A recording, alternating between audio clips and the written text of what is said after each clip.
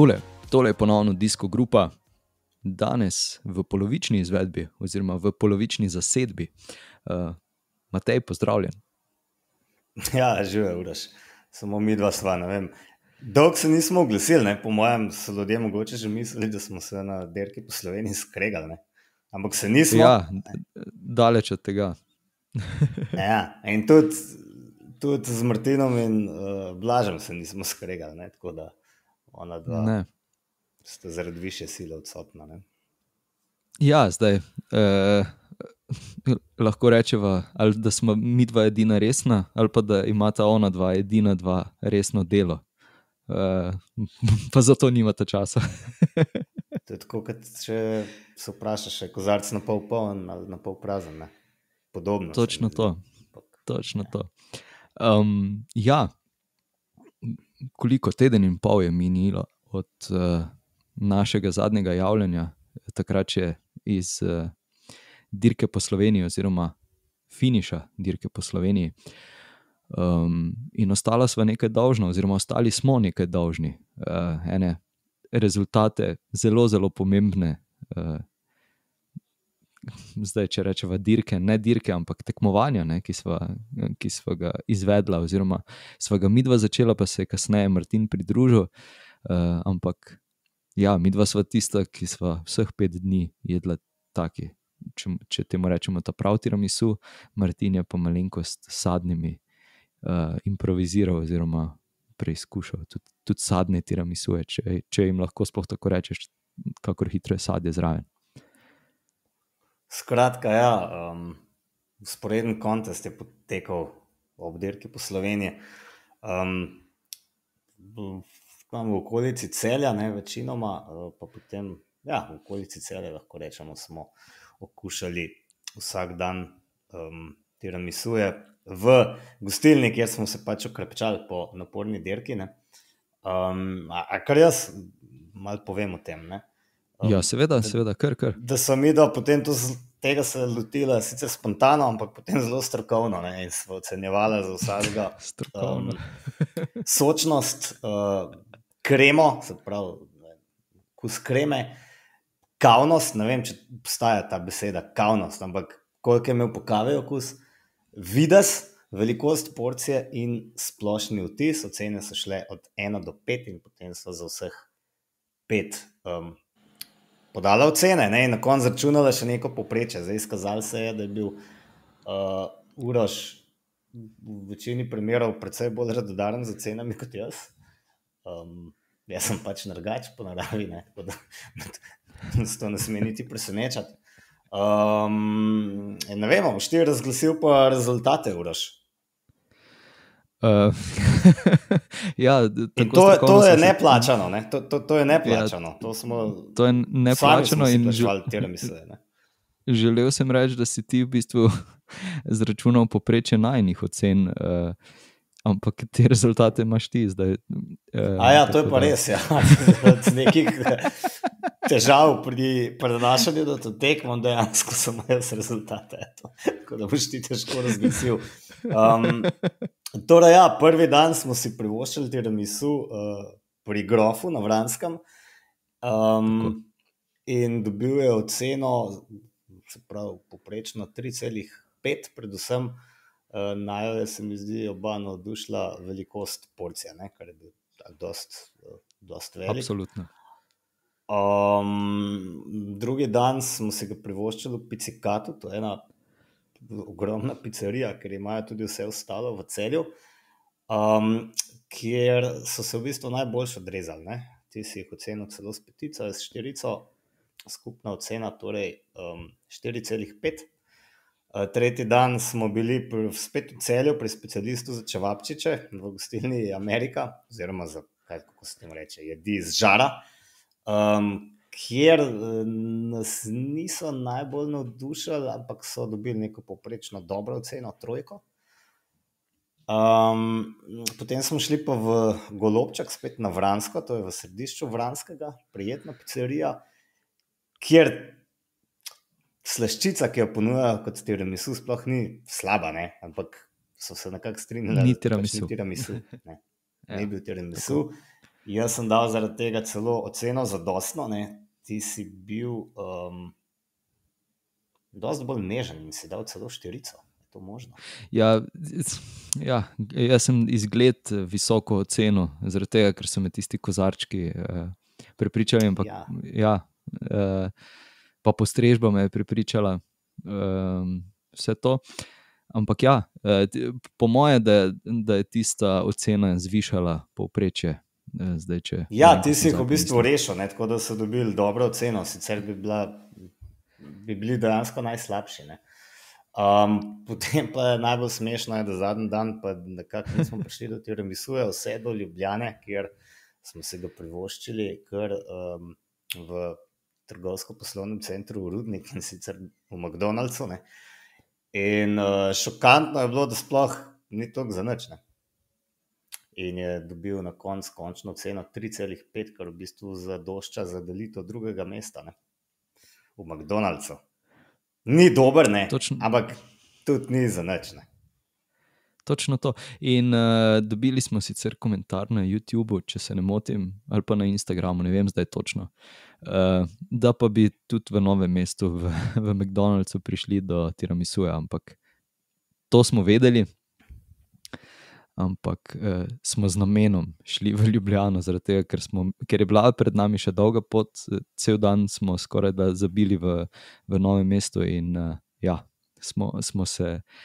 Uh, kako bi ti rekel, logistično odločili, da se raje ustavimo v rudniku, kot pa da zabijemo še kakšne tri četrt ure novem mestu. Ampak mislim da, da, mislim, da je varno reči, da se uh, McDonald's, uh, da se tiramisu v Tiramisu novomeškem McDonald'su. Ne razlikuje bistveno od tiramisuja v Ljubljanskem, ne, ali pa da vem, Točno to, točno. Berlinskem. Ne. Um, je pa treba tudi reči, da je imel samo v McDonald'su to klasično uh, obliko, pač, um, kako se ti reče, kolačka, tortica, kakorkoli posod druge se Porcijsko, ja. stregali Tako. v kozarčkih, kar mene malo moti. Ne. Mal me moti. Ja, se strinjam. Se strinjam. ni to. to. Ja, ne, Ja. To, to je to. To, to je bilo v bistvu najbolj pomembna stvar za nas. Um, bilo je dosti bolj napeto. Ja, v bistvu, Dirki po z- Sloveniji, ko se mi zdi. Ja, eh, zdaj sem da še nekaj dodam, ker si prej rekel, da, da bi golobček dobil najslabšo oceno, pa po moje, da sicer ok, ni bil klasičen tiramisu ali pa da pač sploh je bila neka domača izvedba tiramisu, ampak vseeno se mi zdi, da je po okusu pa bil boljši kot pa v Ameriki. Kaj pa vem. Ja, možno. Ja. Ja, No, kakorkoli. picikato. Zdaj pa bolj. Ja, Picikato je zmagal. Um, pa postrežbo je tudi tam prijetna. Ne? Tako je. Tako je. S- Ja. Se mi zdi, da nismo nikjer naleteli na, na kakšne je res. uh, neljube dogodke ali pa na kakšno slabo voljo. Tako da Ja. top of the top. Um, ja, tako kot si rekel, na dirki po Sloveniji je bilo veliko bolj napeto. Napeto je bilo tudi na državnem prvenstvu, ki se je zgodil uh, pretekli vikend. Oziroma, zgodilo pretekli vikend uh, v četrtek je bil kronometer. Jan Tratnik um, je, ne moremo, zdaj če rečemo, suvereno, ni suvereno zmagal, ampak je zmagal proti Mateju Mohoriču, proti kateremu je na koncu imel, mislim, da 8 sekund ali 9 sekund na skoka, nekaj takšnega. Ja, pojma nimam. ja, v glavnem. Zadržal Ja, ja, eh, naslov. Kronometer se, kronometer se v glavnem ni uh, odvil v Mariboru, kako je bil planiran prejšnje pol leta, v zadnjem tednu ali dveh tednih so ga predstavili v novo mesto. Uh, bojda nekaj logističnih uh, preprek, ki jih ni šlo preskočiti. Ampak ja, cestna dirka se pa je odvila v Mariboru, mi smo navijali slab kilometr do cilja. In že v prvem krogu uh, sta bila v begu Kristjan Koren in uh, ha, Marko Marko Pavlič. Pavlič, tako je, Marko Pavlič, primek. eh, se- Sem, sem vedel, da ne bom pravega rekel, če ga bom izrekel. tako Da, ja, sta bila v begu, um, potem pa enih osem krogov izmenjavanja bega, uh, lovljenja nazaj, vsega skupaj. Pač Adrija je tukaj res bila številčno veliko močnejša kot ostale ekipe.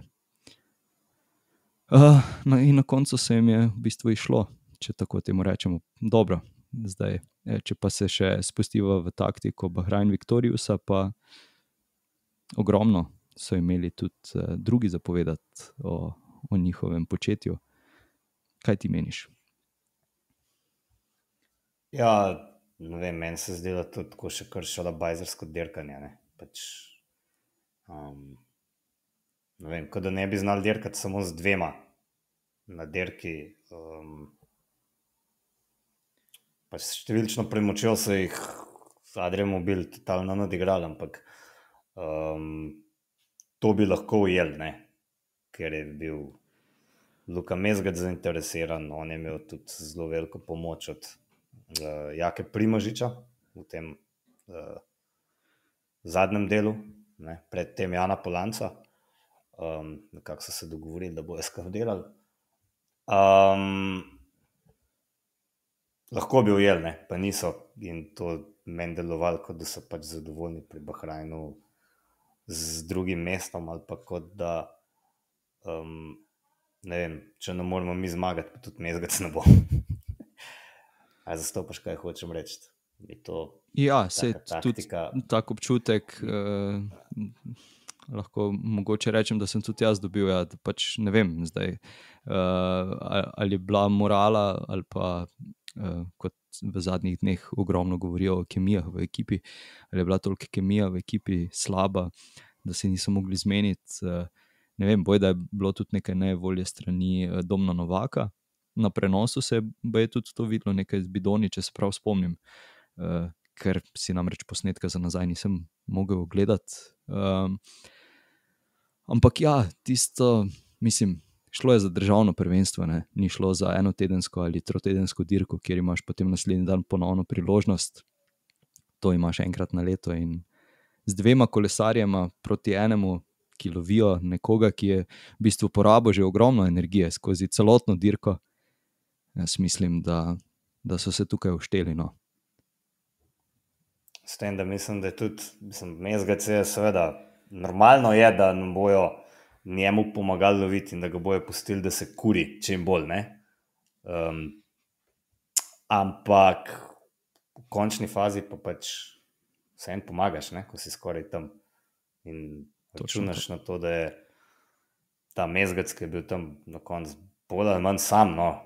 Bodimo pošteni, je bil vsekakor je bil bolj prekurjen in to se je, mislim, da tudi potem poznal v sprintu, ko ga je Govekar prehitev. Um, tako da ja, sem pa po svoje vesel, da je, um, mislim, po svoje vsekakor vesel, da je Kristjan Koren zmagal. Jaz sem bil kar mal presenečen, da je bilo to šele njegova tretja zmaga v njegovi karieri. Um, Neverjetno. Pač, vedno je bil pomočnik, um, cenjen pomočnik.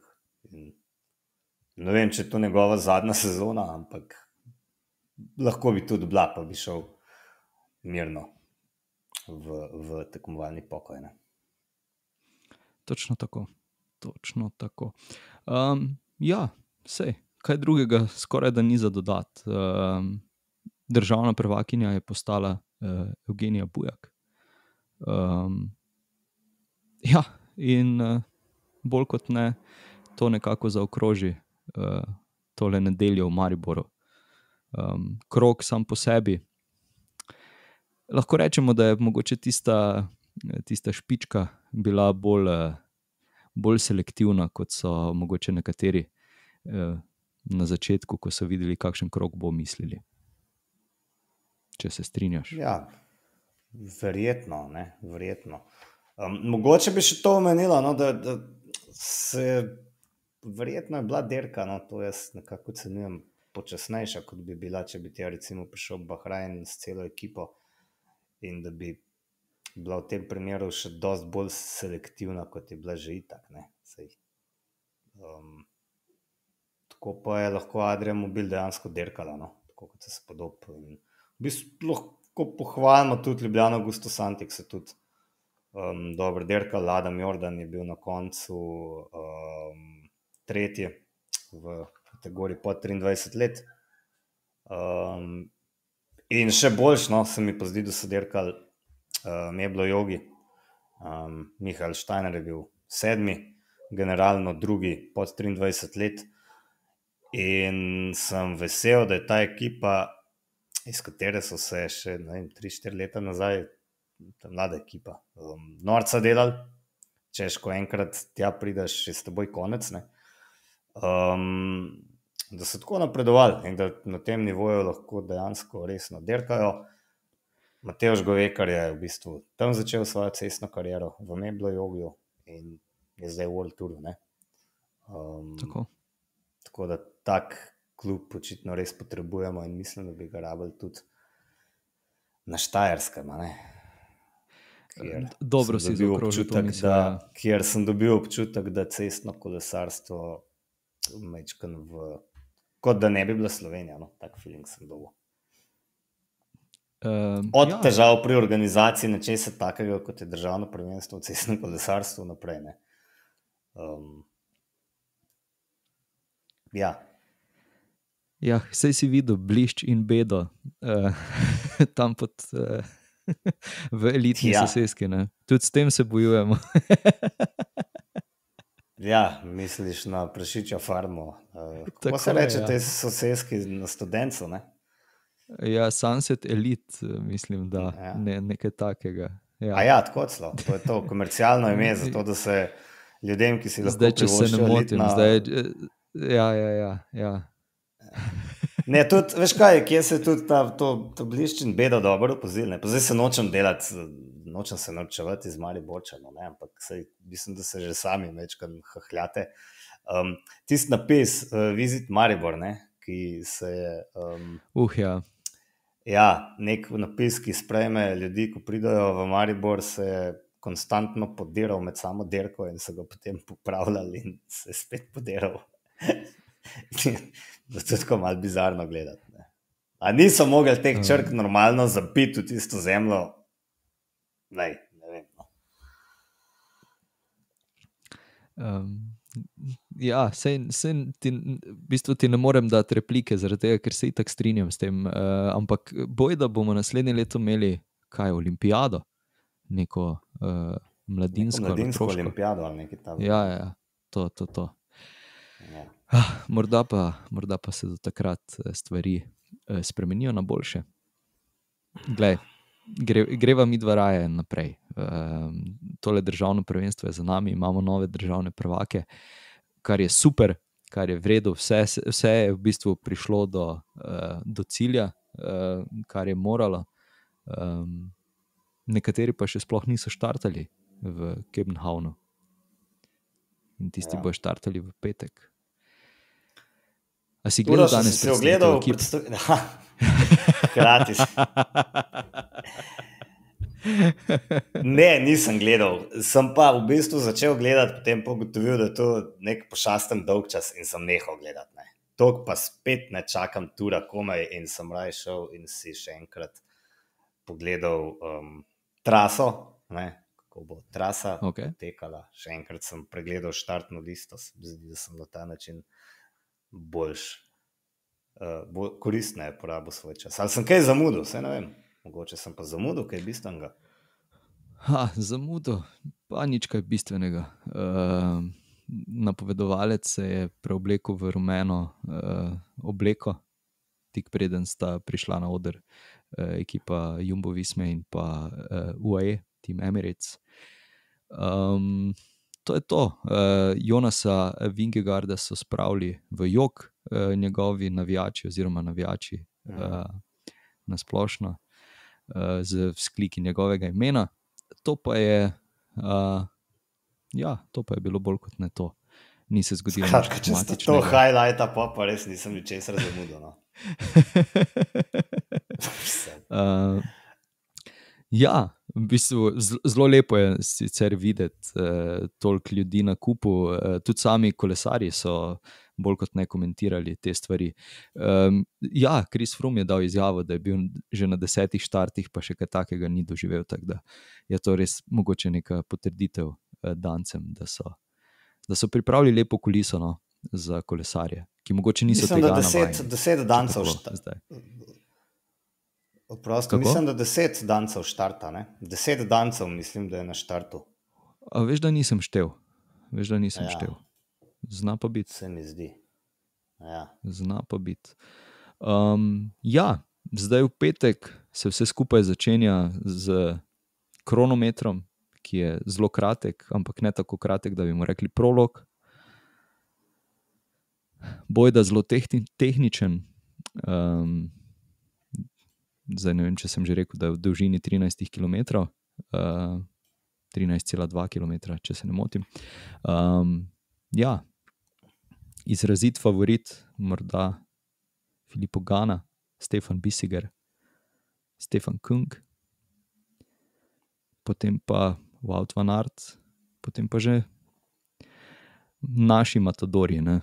Tadej, Primoš, Jan. Na vse zadnje, zdaj, eh, mogoče tudi eh, Matej, Matej? glede na Ja, njegov Matej. kronometer v, v novem mestu.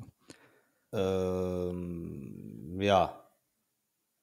No, ja, um, ampak tudi mogoče Matej Vanderpool, ne? ki A Ja, kako sem po njega z- spustil. Ja, glede na to, da, da bo veliko uvinkov, da je veliko uvinkov, da bo ogromno pospeševanj, bi en tak kolesar, po mojem, lahko kar visok prišel.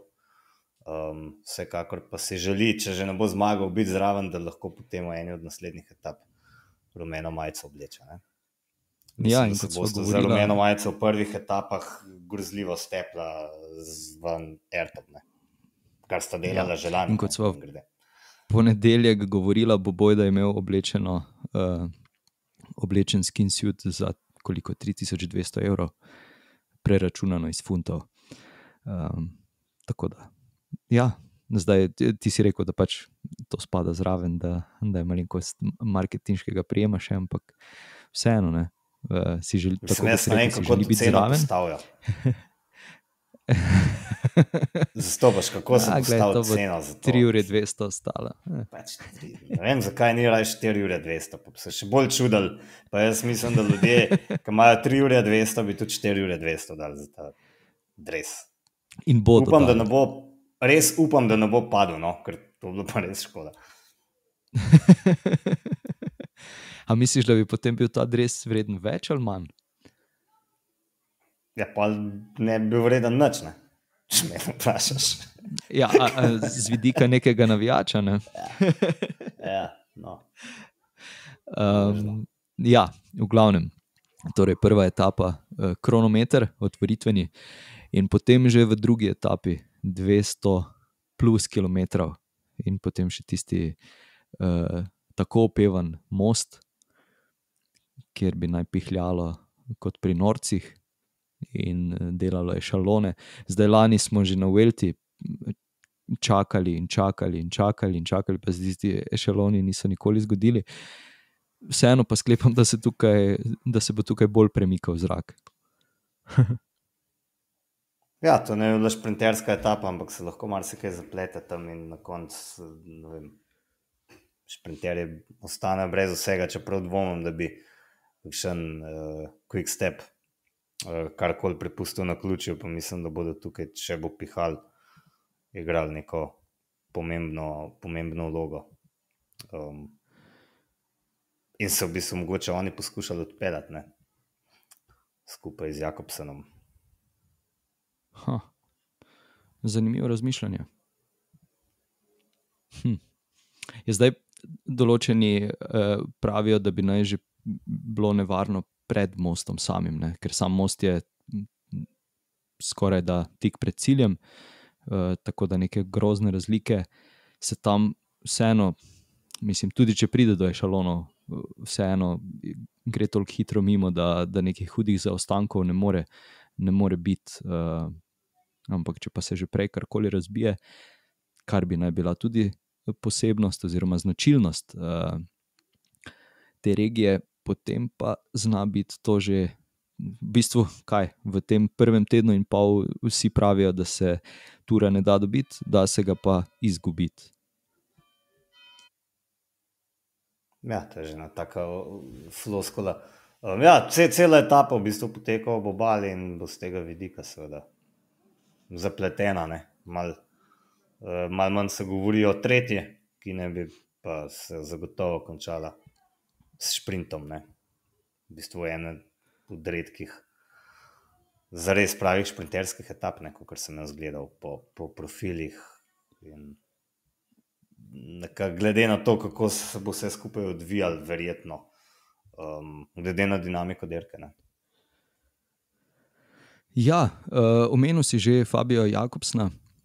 Koliko bi si ti želel videti Marka Kevendisha letos na Turu?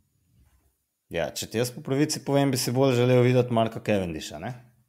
kot Fabija uh mhm. -huh. Jakobsena, če smo že pri tem. Ker bi se mi zdelo simpatično, če zmagaš 36 um, in s tem prehiteti Edija Merksa. Popolnoma porazumem uh, Patrika Lefebvreja. Ne vem, kako so sicer to komunicirali, na koncu je izpadlo, kot da je zvedel na Twitterju, um, Mark Cavendish, da ni v ekipi.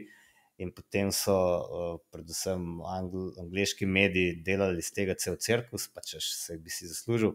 Mislim, celo leto smo vedeli, da Kevin Diš ne bo dirkal na turu. Celo leto smo se pogovarjali o tem, da bo dobil priložnost samo, če je Fabio Jakobsen, ne, če se mu nekaj zgodi. A je tako. In zdaj, potem zadnje dva, tri dni, cel cirkus, ja, njega pa bi si zaslužil, pa kako spet Lefebvre um, v zadnjem trenutku. Ne, mislim, res bizarno. Ne? In normalno se mi zdi, da daš šanso Fabio Jakobsenu, kot vem, nekdo od športnih direktorjev razlagal, da vem, dva od treh sprintov dobi Jakobsen, mlajši je, bolje zihar, želiš se ga zadržati v ekipi. In ja, pač normalno, da delka Jakobsen. Ne. Koliko pa uh, zdaj bom malenkost uh, navrgel ti vprašanja, da, da tako zapeljeva v bistvu vse te uh, oznanitve uh, sodelujočih in ne sodelujočih. Koliko pa te je presenetilo, da recimo ni Sema Beneta pri Bori, da je v bistvu Bora šla z zelo, zelo močno ekipo, uh, ki bo v bistvu. Jaz mislim, da zelo dobro podprta za dobro generalno razvrstitev, bolj kot bi bila v tem primeru za šprinte. Mene to ni presenetilo, ker je Benet pač za noč, ne letos. Uh mhm. -huh. In okay. vem, si najbrž manj ali februar roke, ker se ga je znebil. mogoče kaj več vedel, mogoče kaj več vedel kot Ralf Denkne iz Bore Hans Groje. Um, vlasov je imel COVID, uh, pa očitno ga, um, očitno ga dobro prebolel, tako da uh, bojo ja, derkali očitno z njim na generalno razvrstitev. Um, Ja, me malo preseneča, no, sta ponovno v ekipi, no, preseneča. Šprinterja, v bistvu Denevan Popel in Marko Haller, ki nista ravno šprinterja, mogoče za, za kakšne zelo dobre rezultate, ampak v kakšnem kaosu bi se pa mogoče lahko znašla spredaj in to na dva naredila eh, dober rezultat. Pričemer me mogoče bolj zanima, kako bo Denevan Popel šprintov. To, kar mi je všeč, ta njegov je... prink. ja, v Mariboru imamo popn dekl. A poznate popn dekl, vi v Ljubljani? Ne, kaj je to? Ne, slišal sem že, kaj je to. Karton. Karton. Karton. Aha, karton. Okay. karton, ja, kot kartonska škatla, ne, iz popn dekla. A, okay. Ja, A, ne, to je pa, še ena. Vedel. A. Ja, okay. uh, v glavnem, jaz mislim, da tudi če bi Sam Bennett bil v boljši formi, glede na njihov izplen iz Džira in ravno to, kar smo se pogovarjali v prejšnjih epizodah, da so vseeno naredili en tak, uh, kakšna je slovenska beseda za shift, premik, uh, prestop v mogoče uh, v, v, v dirkanje na generalno razvrstitev, bolj kot, uh, bolj kot, uh, šprint, da bi bili poznani kot sprinterska ekipa, kot so bili v času Sagana. Ne? Ja, čeprav to je mogoče problematično, ne? kaj zdaj bojo pač dirkali na, na tretje mesto. A veš, kaj hočem ja, povedati? Pač dirkajo proti ja, ja, ja. dvema nesporno najboljšima in eh, mogoče skoraj bolj varno imeti sprinterja, pa se potem hvali, da si zmagal v eno, dve etapi, kot pa imeti nekoga, ki je na koncu ne, četrti, peti, mogoče tretji. Um, ali pa nas bo vlaso presenetil, da je to človek, ki naredi vse tako, kot mu rečeš. In, um, če ima dobro vodstvo, dobre noge, lahko marsikaj naredi. Ne? Ja, Um, in potem, ha, kaj se je še zgodilo? A, Tim Deklerk ne bo štartal pri. Uh, pri Ha, zdaj mi je z glave padlo, ker so se uh, Quick Step, uh, je uh, Alpecin zdaj, uh, oni so pa uh, Alfa, ne, ne Quick Step uh, je Alfa Vinil, ja, shit, Alpecin to je pa Alpecin, The Koenig. Ja, fuck, in koliko časa si bom ja. še lomil jezik? Ne, tem. to je brez veze, uh, nikoli se naš. v glavnem, Tim Deklerk ne bo štartal zaradi pozitivnega COVID-testa, kakor tudi ne Mateo Trentin pri ekipi UAE, kar je morda zdaj spet. Mečem naprej uh, razmišljanja in, in to, kar se bere po Twitterju, in vse posod druge, mogoče večji problem kot pa, kot pa pri uh, ekipi Dekonika. Zaradi tega, ker Mateo Trentin bi bil super za te klasične etape, medtem ko ga je zamenjal Hirši, ki pa je v bistvu kot tista prva izbira, ravno zaradi svoje slabe forme, padel mimo. Ja, to se strinjam, ne, seveda. Um, ne vemo, v kakšni formi je.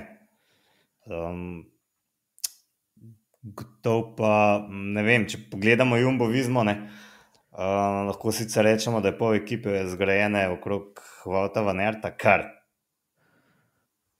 načeloma ni dobro. Ne?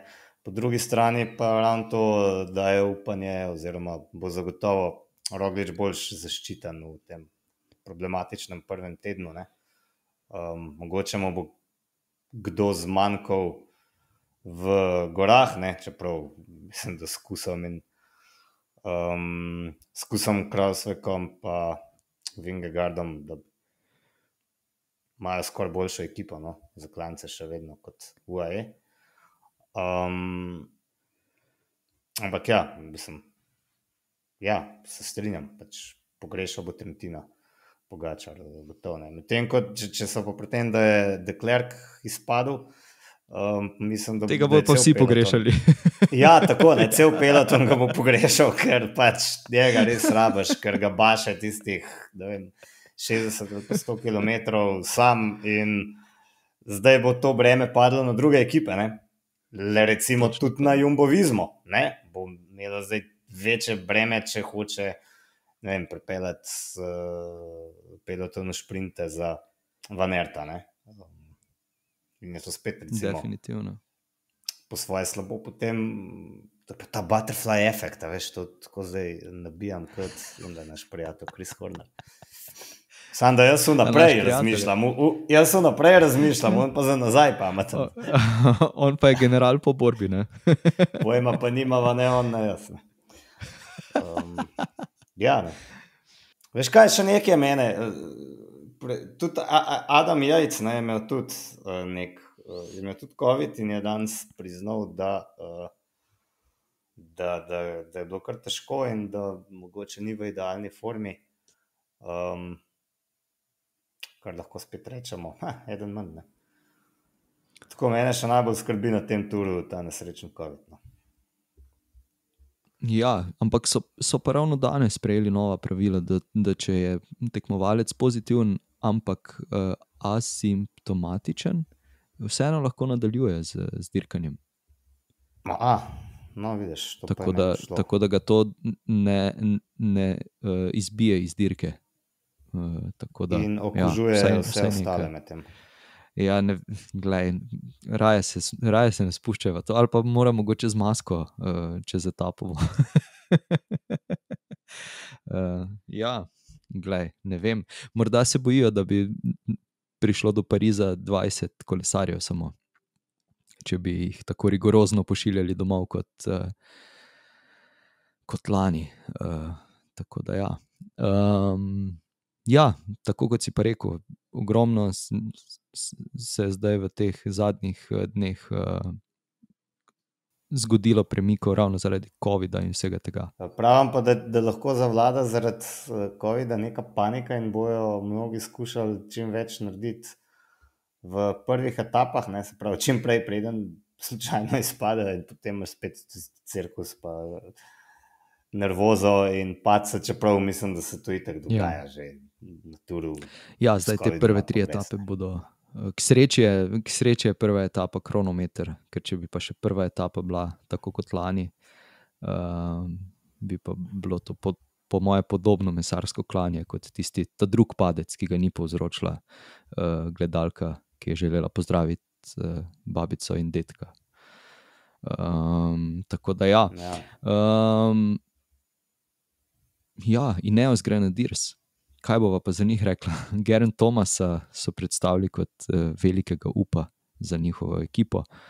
Pa mislim, da je mo mogoče kateri od drugih kolesarjev vseeno trenutno, um, morda v boljši formi, ali pa, ali pa ga lažje vidim kot nekoga, ki izziva uh, naša dva. Ja. ja, koga, misliš, Martina? Um, ja, sem se ne vemo, kako se pač pele on tri tedne. Um, tukaj se jaz res bojim, da bo to en dvoboj. Mislim, ne da se bojim, veselim se ga, ampak če bi bilo fajn, če bi še kdo drug tako resno sodeloval. Ne, um, le, ne vem, zdaj ja. samo ugibava. Um, težko ti kaj pametnega rečem. Pač, Geren Tomas ima neko izkušnjo dirkanja tri tedne. In, uh, ki je Martinez, mislim, da nima, ne? nikoli ni bil tako. To je res. Kot kapetan. Kaj pa pri Movi starju, Enrik Mas? Tudi za njega ne vemo. Ne? Leto se je ogromno padal, če tako, ja. če tako rečemo. Ne? Jaz se spomnim, da na vseh dirkah, skoraj, ki jih je štartov, je vsaj teh uh, večdnevnih, oziroma tedenskih, da, je, da se je vlegel po tleh. Ja. Mogoče se bo to kdaj nehal. Ne? Spet, če en ti vem, bo lahko vesel, če bo tako. Ja. Tretje. Um, ben O'Connor. tako malo ne vem, kaj si, oni, kaj si ti ja. fanti sploh mislili. Ja, veš, tako, ne, okay, se dirkam na generalno, ampak upanje na rumeno, res. A veš, do, dokler si imel te enega, enega, ki je izstopal, ne, bistveno si še, ne vem, mogoče lahko upal, da se njemu kaj zgodi, zdaj pa imaš dva, ki izstopata in še ja, malo manj možnosti. Ne.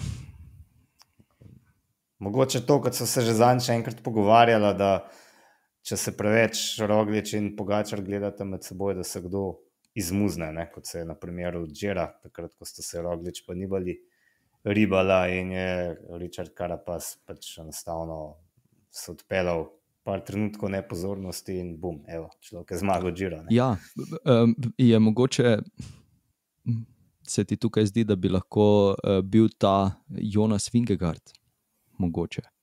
Zaradi tega, ker dejansko zdaj spet ne vem, če lahko parira Tadejo in Primožu. No. Ok, ti si bil mnenja, da, da na Dauphineju je izgledal močnejši, mm. določeni uh, komentatorji so bili enakega mnenja, meni mogoče se ni tako zdelo, ampak ja. Pač, uh,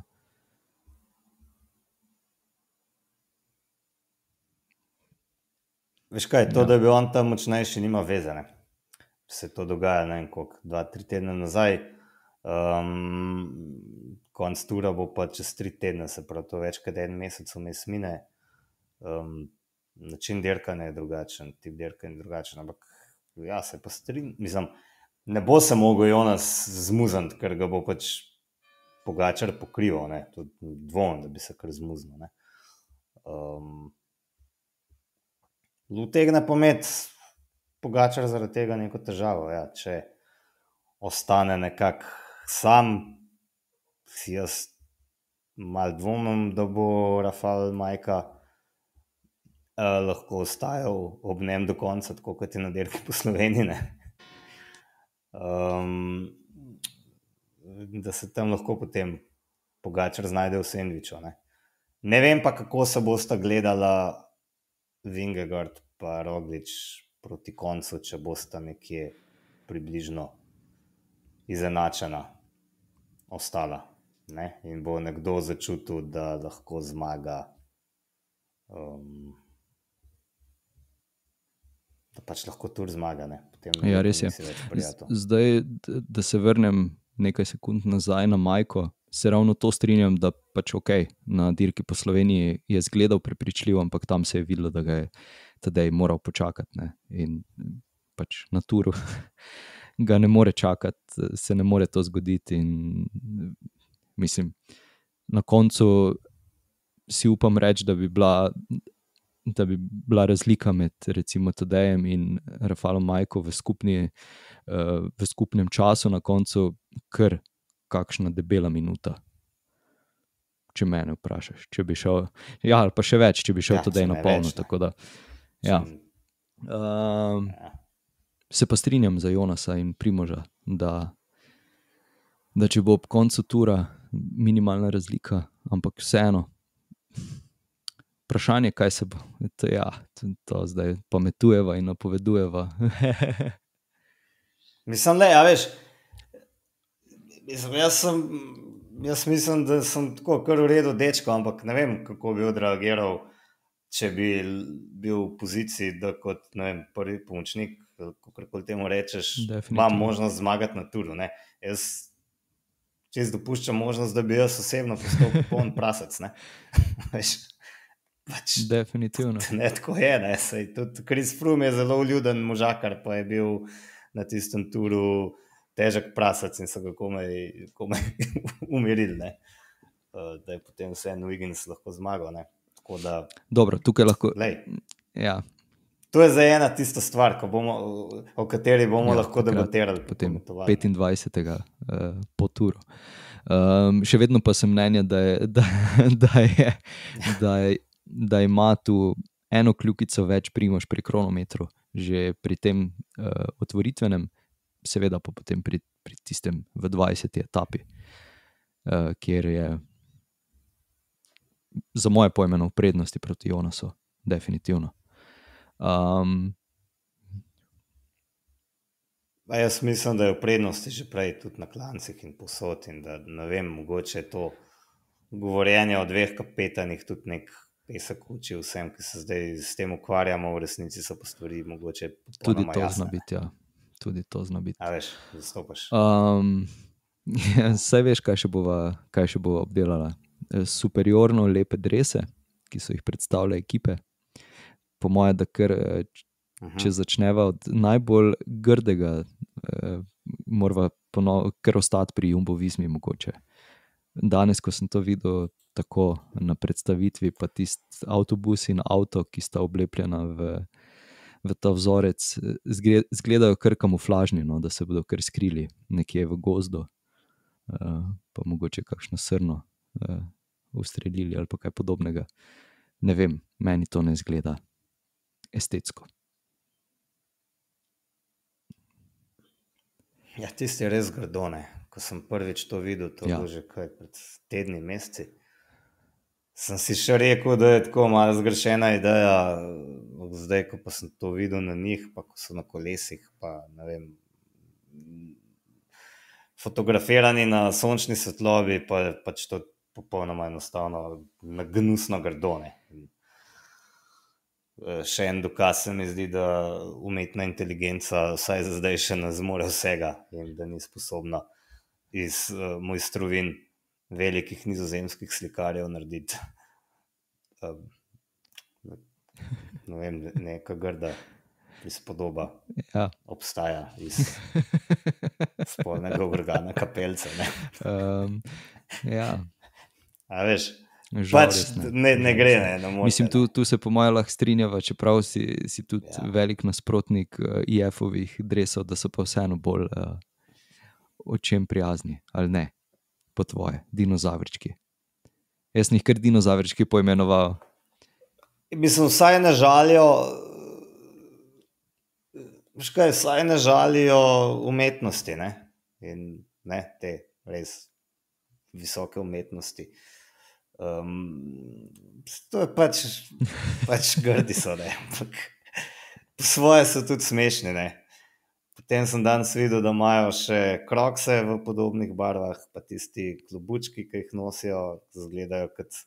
Ne vem, meni men delujejo kot, eh, ne vem, da bi šel gledat spet Deliverance, veš, film, tiste možakarje v tisti dolini. Tako mi delujejo neki taki bebčki. In Ne vem, pa še vas ta cirkus, da mogoče izpadajo iz World Toura, ker pač ne igrajo igre velikih ekip in ne vem, plačujejo kolesarje, ki kolesarijo v šlapah po celi Franciji na nekem alturu, namesto da bi vlagali v tisto, kar delajo, ne, a zastopaš. Um, tako, no, malo smešna je ta ekipa, tako, če dalje bolj, če dalje bolj. Letos, kaj so že letos naredili? Kaj misliš zdaj za tur? Ali...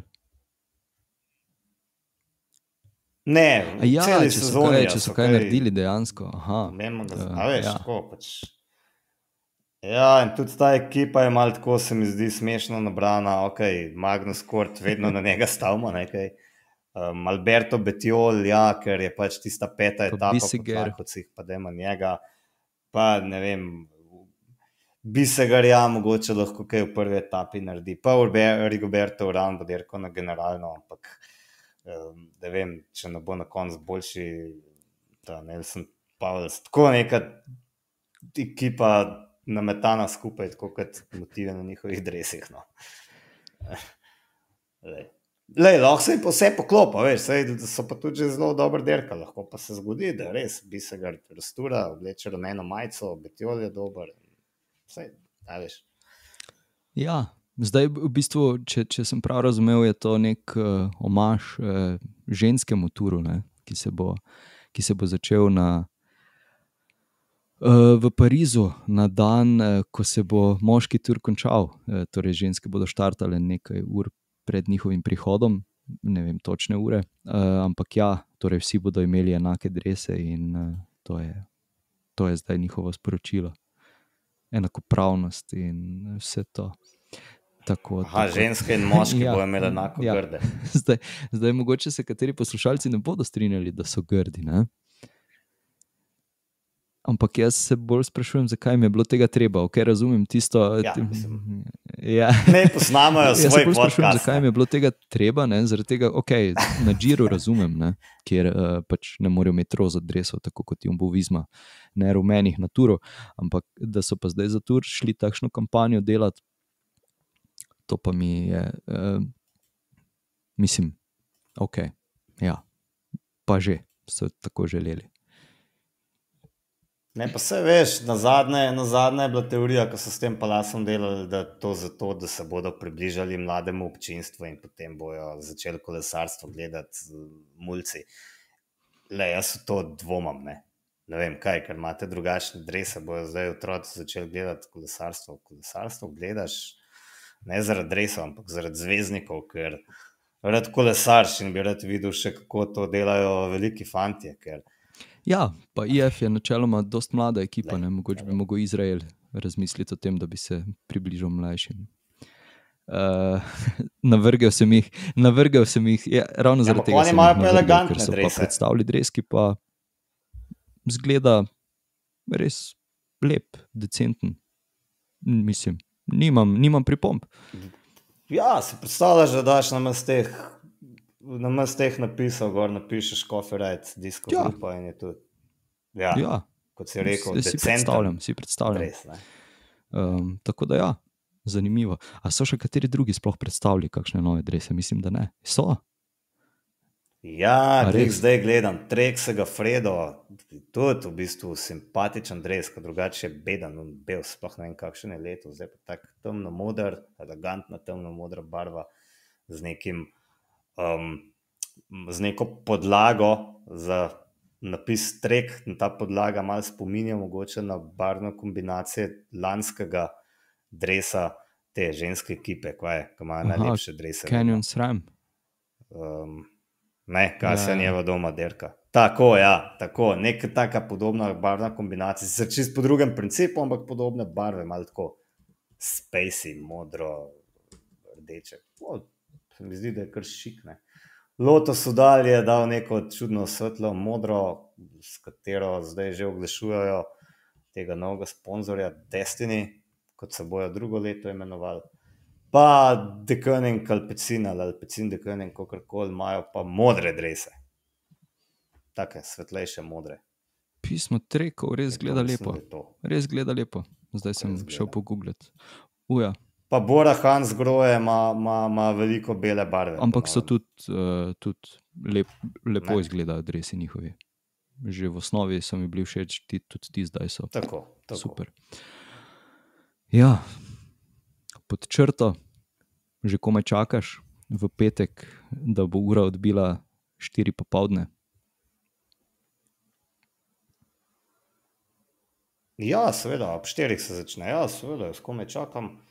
Um, všeč so mi te uvodni kronometri, ker vsi ostali me bolj ali manj večinoma sem ugotovil dolgočasijo, ker je običajno že vse jasno. In...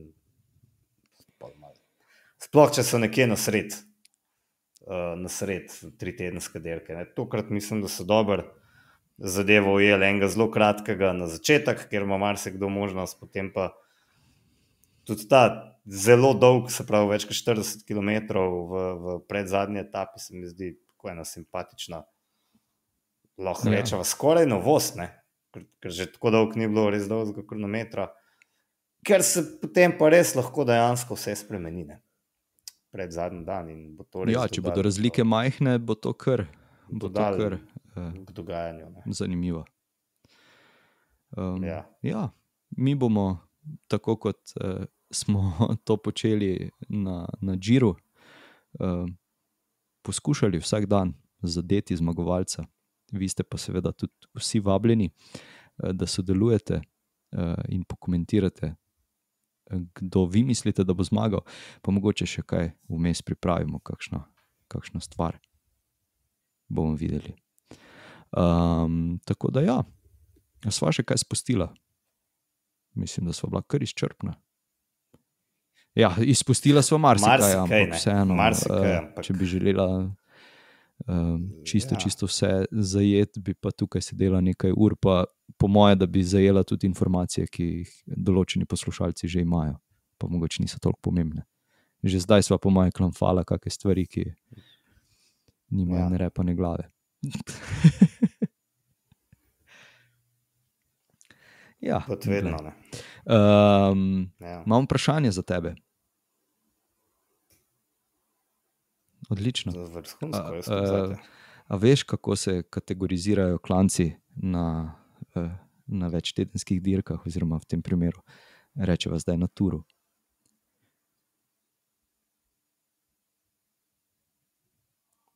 Ja, mislim, Aha, ok, četrta, tretja, slabo druga, sem zastavil vprašanje. Eh, Na kakšen način, oziroma kako Okoljsko. jih kategorizirajo, Eh, katere, katere kategorije je kateri eh, klanec?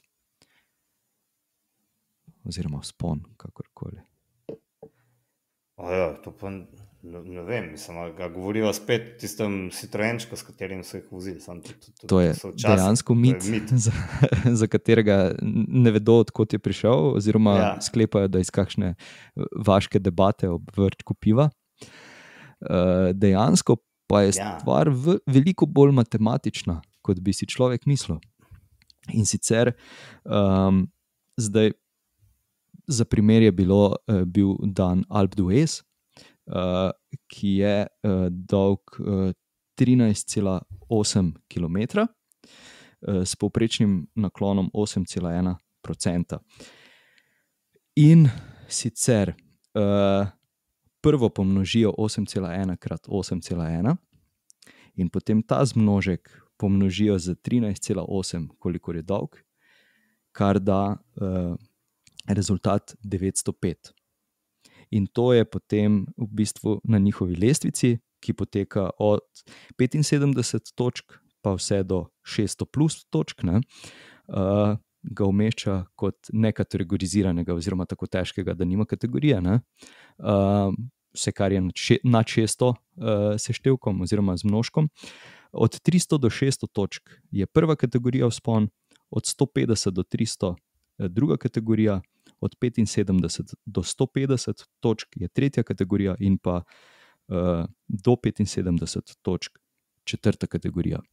Uh, tako da sicer vseeno uh, določene vzpone kategorizirajo zgolj zaradi uh, boja za pikčasto majico, kar jih pač potem zmnožko uh, vzpone, ki ne bi dosegli dovolj velikega števila. Um, zdaj pa bom mogoče vsekal mimo, ali pa ne. Ne vem, kateri klanec. Aha, uh, Koldela Los je pa v bistvu zmnožek, mislim, da 1200 ali 1300, nekaj takega. To si pa nisem zapisal. In je v bistvu kot uh, naj, največ, kar so do zdaj uh, naračunali skupaj. No. Tako da v bistvu je dvojni, ne kategoriziran, uh, oziroma nima kategorije, ker je tako težek. Tako da, ja, mogoče kot zanimivost, ker smo, ker smo vsi nekaj let govorili o tem, da so, so z avti merili kategorije. Tako da, ja. Ja, sem to tak bil bullshit. Ampak zanimivo, no, ker zdaj si lahko po tem tvojem uh, izračunu, ne, za vsak svoj lokalni klan, res računaš. Je, res je. Čeprav še vedno pač obstaja ta, uh, ta človeški faktor, ki Odlično. pa vseeno. Uh, morda bi si mogel še bolj uh, natančno izpisati stvari, ampak uh, ja, določeni sponi, recimo, ne dosežejo 600 točk, ampak so zaradi težavnosti etape vseeno potem kategorizirani kot, uh, kot pač sponi. Ja, ali pa če, tako so, je, če so na koncu etape, če za en klan mu dvigne kategorijo. Tako, ja, da, ja, seveda. Um, ja. Ok, kaj si pa ti pripravil? Ja. Um, v 11. etapi bo cilj na uh, Col du Granon, to je ena ključnih etap uh, čez te lasnice, da je Montvernier, um, Telegraf, Galibije in potem cilj na Col du Granon. Uh, kolikrat je bil ta klanc vključen do zdaj na turu? Um, Rekl bi, da je zdaj prvič ali pa drugič, pismo. Ne. Ja, ne, ja. Ker, ja, zdaj je drugič. Ne. In to se meni zdi kar zanimivo, ker je očitno kar tak epski klanc, um, ki ima pač samo enega zmagovalca. To je bil Eduardo Čozas, eh, španec, zdaj star 61 let. Zmagal je leta 86 v tej etapi, po pazi to 150 km begu. In do vrha uh, si je nabral 6 minut in 26 uh, sekund prednosti pred Ursom Cimermanom in Gregom Lemondom, ki sta takrat skupaj prišla v cilj. Greg Lemond je takrat slekel rumeno majico um, Bernardu Inoju, ki potem nikoli več ni zmagal Tura in je kot zadnji francos. Kot zadnjemu francozu to uspelo leta 1985. Je pa ta čoza skrb zanimiv kolesar, verjetno še za njega nisi slišal. Ampak um, je štiri etape zmagal na Turu, tri na Džeru. In do leta 2014 je štartov in končal največ Grand Tourov v svoji karieri. Štartov je na 26 in končal jih je 25. Mislim, da ima zdaj ta rekord Mateo Tosad. Neverjetno. Neverjetno. Ampak ne bom dal. zdaj, jaz se lahko samo pohvalim, da sem prevozil uh, Telegraf in potem Galibije do Granona, glede na to, kakšne delirije sem oh. doživljal na Galibije, bi rekel, da ne bi niti, niti prišel. Ampak ja, uh, jih čaka kar ogromno uh, plezanja na ta dan, noro. noro. Ja, in potem bo še naslednji dan tudi Točno to. zaguljen, kot svina, ne. pa spet galibije. Um, in spet potem moraš še čez telegraf, ne, ki pa je zunaj strani čez kratek, čeprav vem. Potem, ko delajo croix de fer, svinsko dolg klanc, pa dues, tako da ta, ta, Fuh, ta dva dneva ja. bosta kar v redu. Ne. komaj čakamo. Ampak še prej, uh, še prej prvo tri etape Tako. Na Danskem, potem uh, dan počitka, v katerem bo že kaj več znano, pa bomo že kaj več lahko popametovali. Da, um, ja, Matej, lepo bodi, pa se slišiva, oziroma se slišimo vsi skupaj. Uh, jaz upam, da, da bosta Upam. fanta dobila ja. kak, kakšno uro, dve dopusta od vseh obveznosti. Lepo bodi, se slišimo, vidimo. Čau. Hvala, enako srečno, živijo.